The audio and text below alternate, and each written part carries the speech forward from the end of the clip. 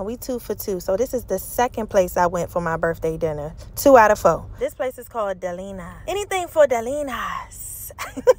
All right, y'all. So I sat outside because how else people supposed to see me if I'm not sitting outside? And then I had started off with that Maryland crab guacamole. First time having it, not the last time. That thing was a banger.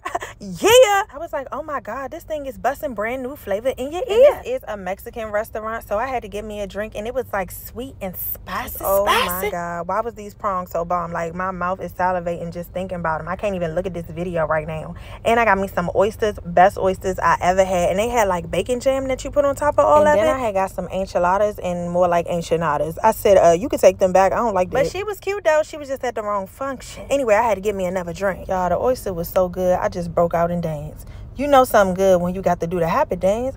And then guess what? Happy birthday to me.